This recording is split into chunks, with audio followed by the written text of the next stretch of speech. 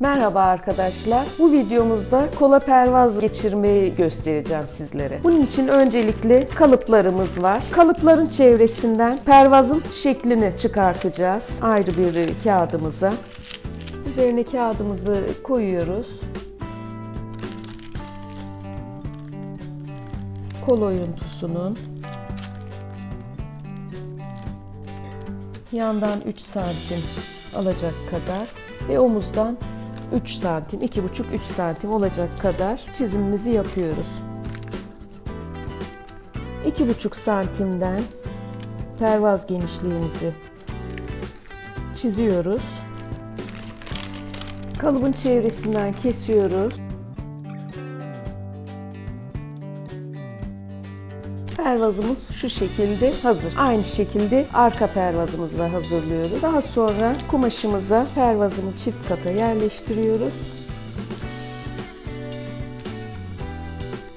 Çizip kesiyoruz.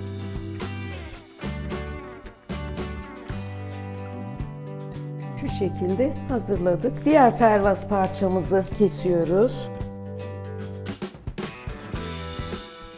Kumaşımızı paylı olarak keselim. Payını vererek keselim. Dış tarafa pay vermemize gerek yok çünkü zaten yeterli genişlikteydi.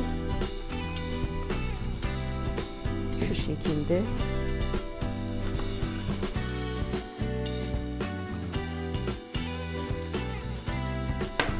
Pervazlarımızı paylı olarak kestik. Şimdi eşleştirip omuz ve yan dikişlerin makinesini çekeceğiz.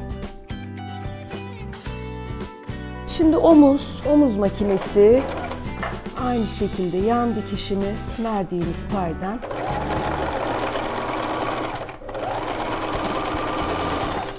makinesini çektik. Paylarımızı ikiye açıp ütüleyeceğiz. Daha sonra üzerine telamızı yapıştıracağız ki bluzumuza veya gömleğimize pervazımızı geçirdiğimiz zaman kol çevremiz netlik kazansın.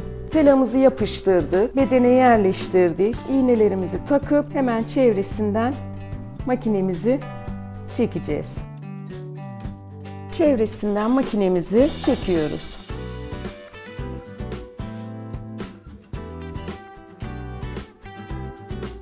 Başladığım noktaya geldim. Sabitleştirmeyi yapıp bitirdim. Makinemizi çektik gördüğünüz gibi. iğnelerimizi çıkartıyoruz.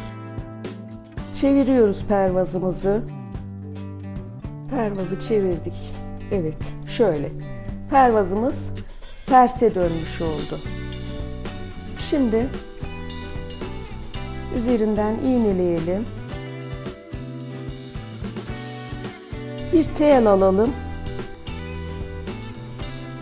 ütüleyip ondan sonra spor dikiş çekerek çevresini pervazın kalkmasını önleyelim şu şekilde. Makinemizi dikkat edeceğimiz tek nokta spor dikişti. Makinenin kenarına kumaşımızın kenarı gelsin. Bir makine ayağı genişlikte çevresini makine çekebilelim diye.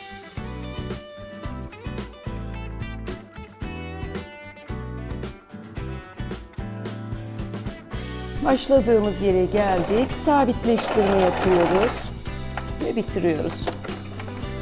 Gördüğünüz gibi pervaz çalışmamızı yaptık. Dıştan görünüşü bu. İçten de göstereyim. Şöyle çevirelim. Pervazımız bu. Çevresine e, overlock çekebiliriz veya zikzak çekebiliriz. Bu şekilde bir de ütüledikten sonra şöyle